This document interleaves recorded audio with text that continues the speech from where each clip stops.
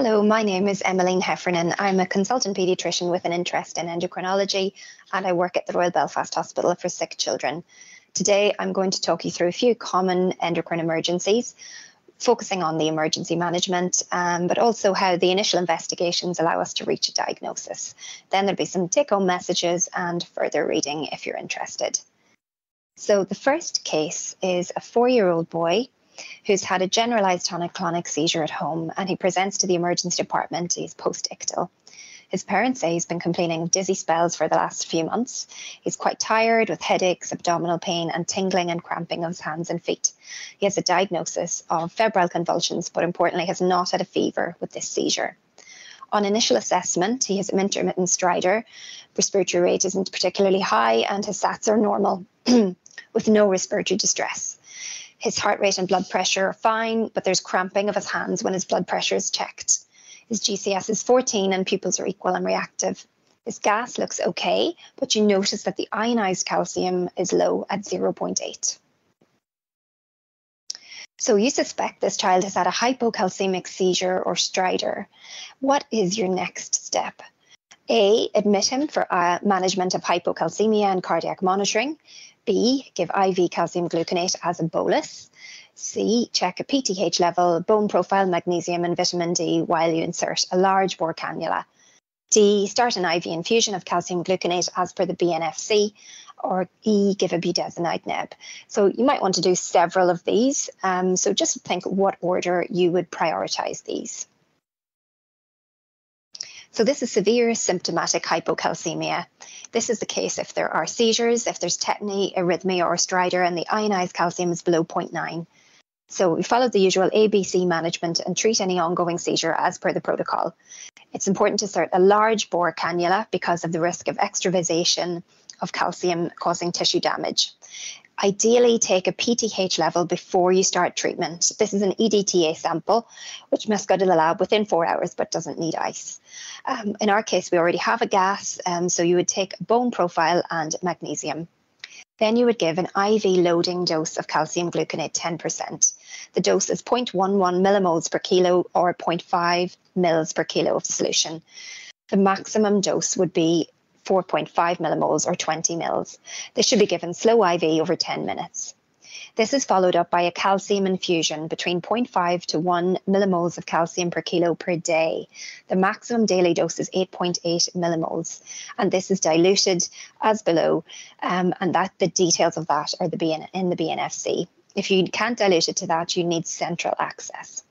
If the magnesium is low, particularly if it's below 0.5, then you should also give IV magnesium infusion. This is really important because if the uh, magnesium is very low, it suppresses release of parathyroid hormone from the parathyroid glands. So um, the, the, lab phone to let you know the corrected calcium is low, it's 1.6. The phosphate is high at 2.9, but the magnesium is okay. At this stage, your patient has completed the bolus of calcium gluconate and has started on the IV infusion. He's admitted to the ward with cardiac monitoring and also started on oral calcium supplements four times daily.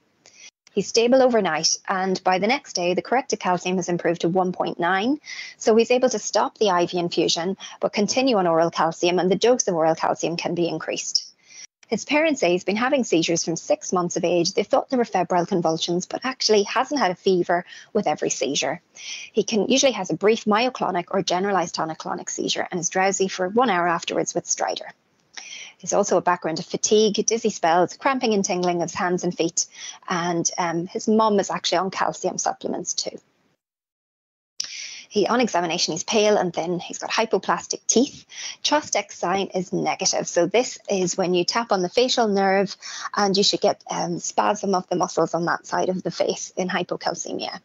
Trousseau sign is when we inflate the blood pressure cuff and the ischemia causes carpopedal spasm like this. Um, so those signs are both negative now, but his calcium has improved. He's no features of rickets and there's no subcutaneous calcification. So the next day, his um, PTH level comes back. It's really low, below five, and that's at the time of hypocalcemia. Vitamin D was fine, and there was no calcium in his urine. So, what do you think could be the diagnosis here? Well, this slide just shows the homeostasis of calcium in the blood. Um, so 99% of the calcium in our body is actually in our bones. Only 1% circulates, and half of that is ionized. So when you have an ionized calcium on a gas, you can assume that the corrected calcium in blood will be double that. So when the calcium level falls, this stimulates the um, parathyroid glands to release uh, parathyroid hormone as long as the magnesium level is over 0.5. This then, PTH then stimulates release of calcium from the bones. It increases calcium uptake in the kidneys, activates vitamin D, and increases calcium uptake in the intestines as well, restoring a normal calcium level. So this flowchart is just a basic diagram to show you, you know, how you can figure out the cause of the hypocalcemia. So the PTH level might be back after a day, but in the meantime, you do have a phosphate level available to you. So if the phosphate is high, you expect that the PTH level will be low. As long as the magnesium is normal, then the diagnosis is going to be hypoparathyroidism. So that was the case with our patient. There's many causes of hypoparathyroidism, particularly common is 22q deletion, but there are also genetic forms. And in our patient, it did turn out they had an autosomal dominant hypoparathyroidism caused by a mutation of the calcium sensing receptor. You can also get hypoparathyroidism post thyroid surgery or in autoimmune conditions. Um, on the other side of the diagram, if the PTH, um, the phos- if the phosphate's low or normal, you expect the PTH will be high. So that could be vitamin D deficiency or resistance to vitamin D, liver failure, renal failure, or GI or renal losses.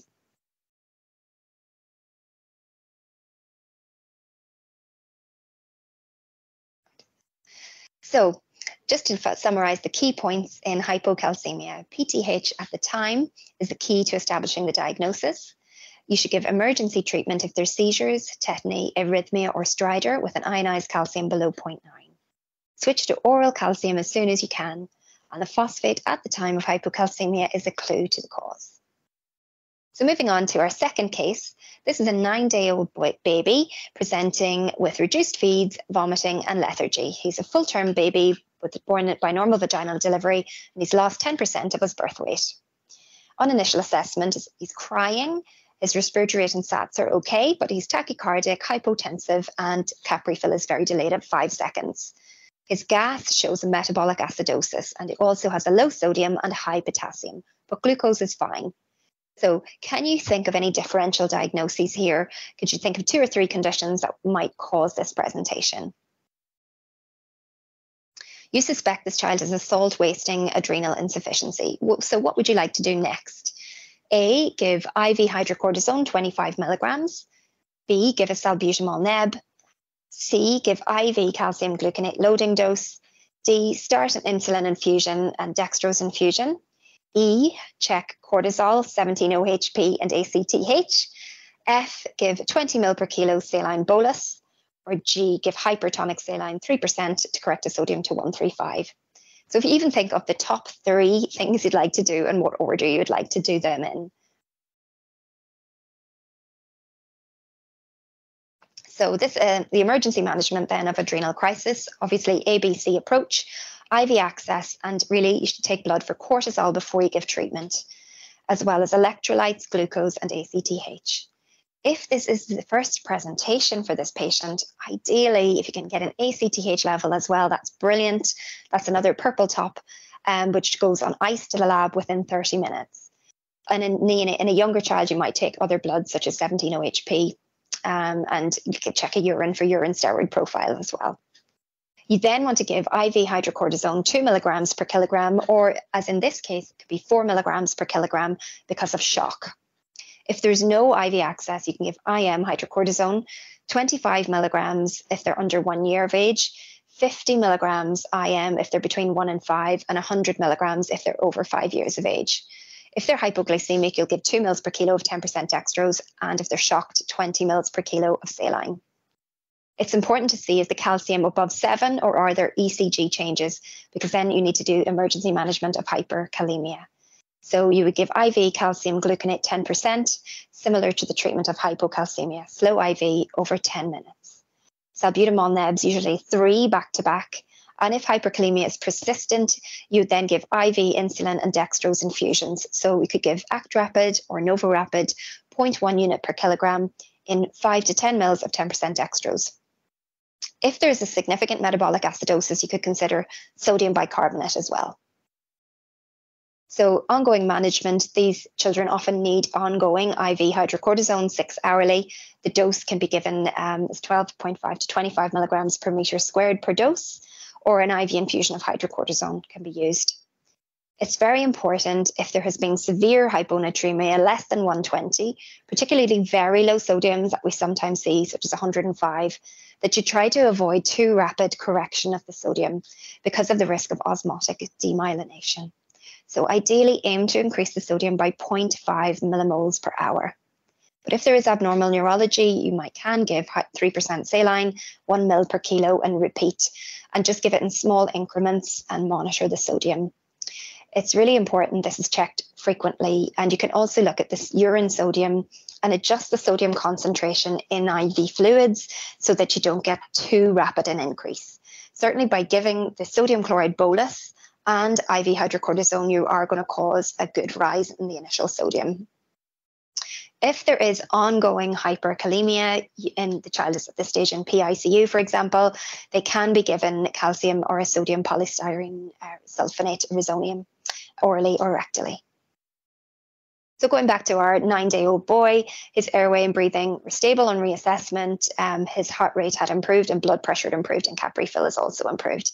His gas uh, shows an improving metabolic acidosis. The sodium has come up to 124 and the potassium has fallen to 7.2. He's also covered in case of sepsis, covered with antibiotics and admitted to PICU. He's got normal male genitalia and there's no hyperpigmentation noted. An ultrasound is done. It does show his adrenal glands are bulky, which is a clue to the diagnosis. His renal tracts looked normal. Shortly after, the lab phones to say his cortisol level is only 18 nanomoles per litre. And the next day, his ACTH level comes back really high, and that confirms primary adrenal failure. 17 OHP is also elevated, and that leads just to, to the diagnosis of congenital adrenal hyperplasia. So, this is a genetic condition um, caused by a deficiency of the 21 hydroxylase enzyme in the adrenal glands. So, this causes prevention of um, production of aldosterone, leading to salt wasting, lack of production of cortisol, leading to shock. And then there, the pathway is shunted over to the right, and this leads to an increase in androgen levels. So, a baby with this condition, a baby girl, will have virilized genitalia, some babies also have hyperpigmentation, and that is due to high ACTH levels, which are driving the adrenal glands to try to produce more cortisol. So, just to summarize a few terms that we would use um, in thinking of adrenal insufficiency, adrenal insufficiency is any cause which um, of the adrenal glands being able to produce sufficient cortisol. So, it could be congenital adrenal hyperplasia, genetic conditions, or adrenal adrenoleukodystrophy usually there is insufficient mineralocorticoid production as well. So there will be salt craving, salt wasting. And if it's a primary adrenal problem, there will be hyperpigmentation and very high levels of ACTH. The ACTH level will be low or normal if this cause is coming from the hypothalamus or pituitary, or if there's adrenal suppression. So, adrenal suppression is the term if you've been on high dose um, exogenous steroids, the adrenal glands have basically gone to sleep and no longer making cortisol. In these children, there may be um, they may be very Cushingoid and they have poor linear growth. An adrenal crisis is, is defined really by hypotension, hypoglycemia, seizure, or coma.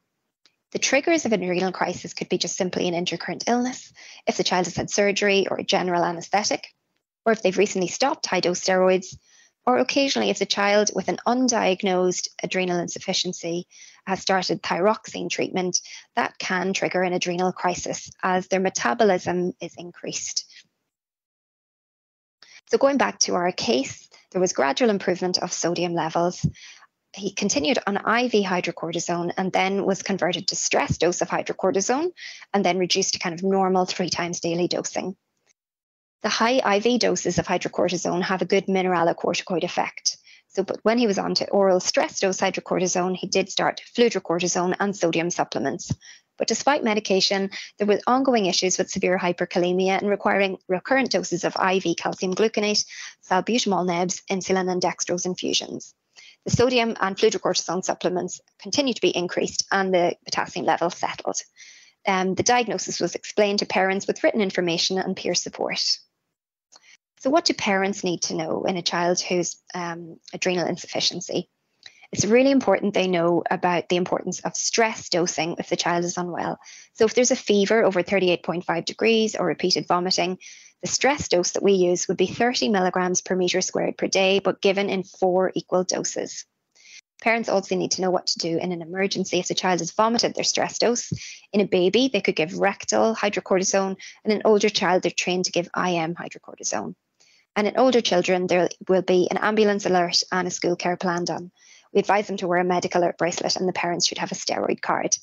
And there's very good resources on the BSPED website about managing adrenal crisis and steroid cards, etc. So I just wanted to mention one other potential differential here, which is pseudohypoaldosteronism or PHA for short. This is a condition due to resistance, resistance of uh, to aldosterone, which causes low sodium, high potassium, and a metabolic acidosis with dehydration and failure to thrive. So, very similar to our case. The key, the key to this diagnosis is that renin and aldosterone levels are both very high, but the cortisol and 17-OHP will be normal. This condition is often a transient condition in infants up to around the age of three months. If they have a urinary tract infection or renal tract obstruction, it triggers this, but the pathogenesis isn't really known. There's also a rare genetic form. If there's consanguinity, you might suspect this type, and it can affect just the kidneys or other organs in the body, causing salt wasting, and that's more difficult to manage. Um, interesting, there was a surveillance study in Ireland in 2019, and they found that the incidence of transient pseudohypoaldosteronism was similar to that of congenital adrenal hyperplasia. So, this is the kind of case we see every once in a while, and it's just worth knowing about um, in case you come across it.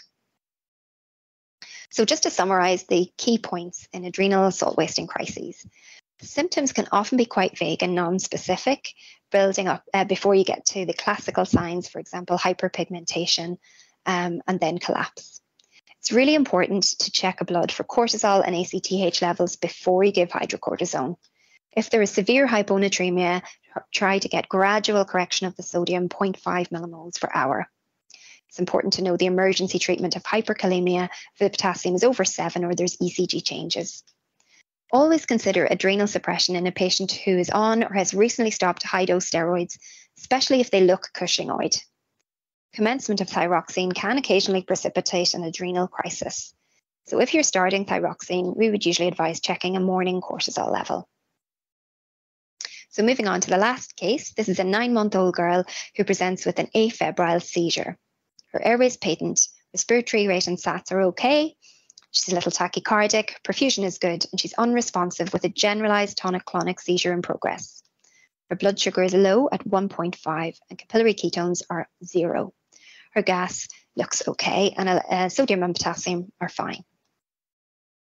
So this is severe hypoglycemia causing a seizure. We would do ABC and check a hypopac with a blood gas, U&E, etc immediately want to give 2 mils per kilo of 10% dextrose as an IV bolus. If you couldn't get IV access, you can give IM glucagon. The dose is 0.5 milligrams for a child under 25 kilos or 1 milligram if they're over 25. Then you'd follow up with IV fluids of 10% dextrose and normal saline at maintenance or fluid restrict if it's clinically indicated. Um, if there is ongoing hypoglycemia, glucagon IV infusion can be given if you suspect hyperinsulinism and that can be started anywhere between 1 to 10 micrograms per kg per hour. The clues to hyperinsulinism would be like no ketones, like our case, or a high glucose infusion rate greater than 8 milligrams per kilogram per minute, but often greater than 12 in hyperinsulinism. If you need to give a more concentrated dextrose infusion greater than 12.5%, that should be given centrally. And if you suspect adrenal insufficiency, you would give 4 milligrams per kilogram of hydrocortisone to a max of 100 milligrams. On the right there, you see the hypopac with the grey top bottle, red top, acyl carnitines, and it's important to try to get the first urine passed uh, for organic acids. This slide is uh, from the PEER guidelines, which are excellent guidelines in the management of hypoglycemia.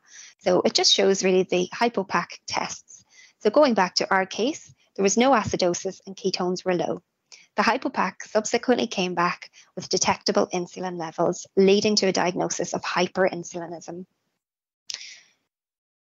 So just a note really on the endocrine results of a hypopac and how to interpret them. So the glucose should be below 2.6 millimoles per litre for a true hypopac. At the time of hypoglycemia, cortisol should be greater than 450 nanomoles per litre. Check with your local lab what their assay cutoff would be. The exception to this can be neonates, where they may not always have as good a rise in cortisol. If it's below 450, you consider a Synacthen test. If ketones are present at the time of hypoglycemia, that will exclude hyperinsulinism. The insulin level should be undetectable at the time of hypo. However, if somebody is given treatment before the hypopac was sent, there will be detectable insulin. However, if you've got ketones, you can ignore it. The level of insulin is not really related to the severity of hyperinsulinism. So any level of insulin is significant if there are no ketones. Um, the rise of growth hormone in relation to hypoglycemia can be delayed for 20 to 30 minutes.